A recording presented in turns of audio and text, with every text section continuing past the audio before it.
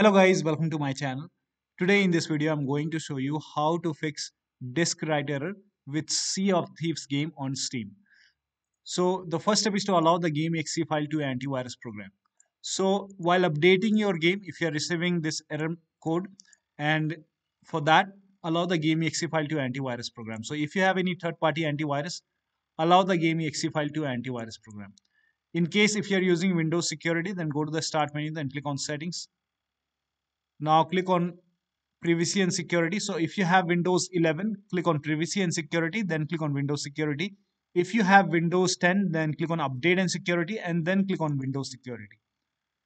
Now click on virus and threat protection. Scroll down at the end here, you can see manage ransomware protection. Click on it. And then click on allow an app through control folder access. Click on yes to allow. Now click on add an allowed app, then click on browse all apps. Now go to the game installation folder so it may be in c drive. So select c drive. If it is in different drive go to different drive and open steam library folder. So for c drive open program files x86. Now open the steam folder. Now open the steam apps folder. Now open the common folder. Now over here you will find sea of thieves game folder. So i am showing you with different game. This is just an example. So open Sea of Thieves game folder and then select the exe file of Sea of Thieves and then click on open. Once the game is added to here, now try to update or install the game. Now, now if the game is not installed, while installation you are receiving this error message, not while updating. So while installation, if you're receiving this error message, you can disable your antivirus program for some time. So till the time installation is going on you can disable your antivirus program. Once the installation is done you can always enable your antivirus program. Similarly you can disable your windows security for this. Go to the start menu and click on settings.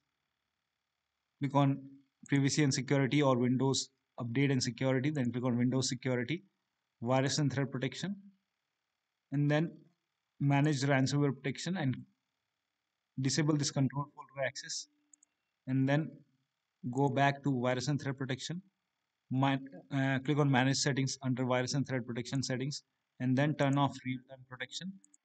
And now try to install the game. And once done you can enable your antivirus program or your windows security. This is the main reason you are receiving the disk write error so you can try this. Now the next step is to run steam as an administrator. So if steam is running go to steam click on exit once the Steam is closed, now type in Steam in the Windows search box, make a right click on Steam app and then click on Run as Administrator.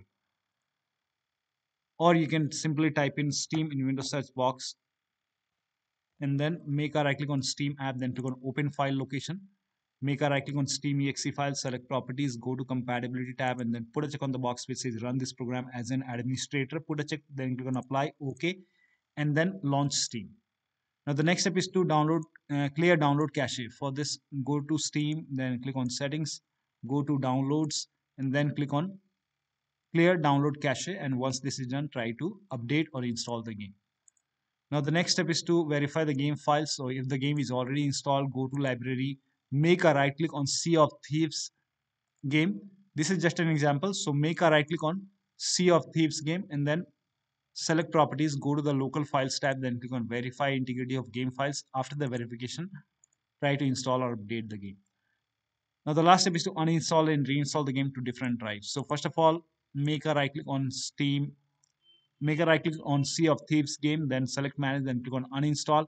Now after the uninstall, delete the game folder from the game installation folder, then restart your computer. After the system restart, try installing the game to different drives. So if you have another SSD or HDD, try installing the game to different drive and one of the steps should help you to get rid of disk write error with Sea of Thieves game on Steam. So that'll be all. Thank you so much for your time and please like this video and subscribe to my channel.